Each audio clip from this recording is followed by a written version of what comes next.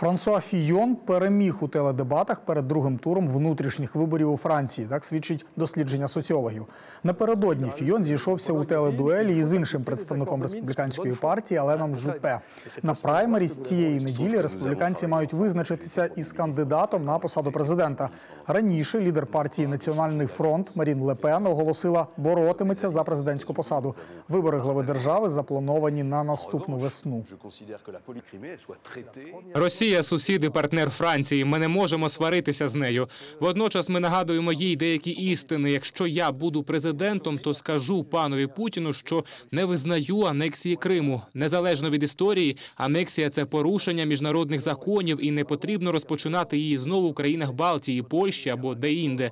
По-друге, я б сказав Путіну, що мінські угоди необхідно виконувати добровільно заради відновлення територіальної цілісності і миру в Україні. Саме тоді ми скасуємо санкції. Я вважаю, що політика Франсуа Оландом за останні чотири роки щодо Росії абсурдна. Це штовхає Росію ввести більш жорстоку позицію. Росія найбільша країна в світі, країна з великою кількістю ядерної зброї. Тож вона стане небезпечною, якщо ми будемо поводитися так, як протягом останніх п'яти років. Ми маємо сісти за один стіл з росіянами, не питаючи дозвілу американців, і маємо налагодити зв'язки.